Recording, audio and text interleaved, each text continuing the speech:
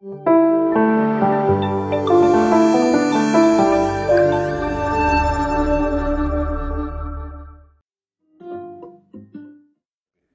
me abruma. No tengo palabras.